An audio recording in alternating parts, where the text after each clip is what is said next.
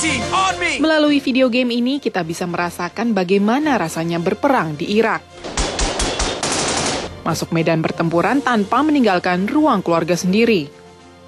Our goal with the game is to help people understand a little bit of what it's like to be a Marine in a, in a modern war. Game Six Days in Fallujah ini merupakan simulasi Operation Phantom Fury yang merupakan pertempuran perkotaan yang paling sengit dalam sejarah pasukan Amerika. Dalam pertempuran sebenarnya di Fallujah, puluhan tentara Amerika dan lebih dari seribu pemberontak tewas. Terbitnya game ini mengundang kecaman, khususnya dari keluarga tentara Amerika. When I heard about it, it was very upsetting. Karen dan keluarga militer lain menentang video game ini. Menurut mereka tidak pantas pengorbanan para tentara Amerika dijadikan permainan.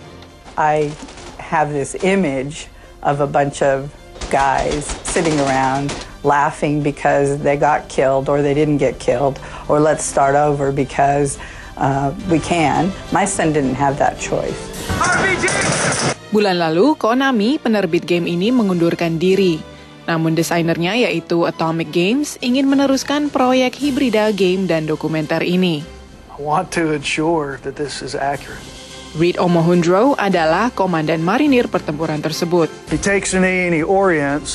Ia dan puluhan marinir lain yang bertempur di Fallujah menjadi konsultan proyek ini. Jalan cerita game ini sesuai dengan pengalaman mereka. It's not a kill 'em all, let God sort 'em out type game. Get your hands up!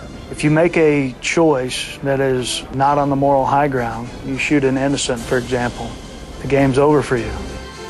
Produser video games ini, Atomic Games, berencana meluncurkan game Six Days in Fallujah tahun depan.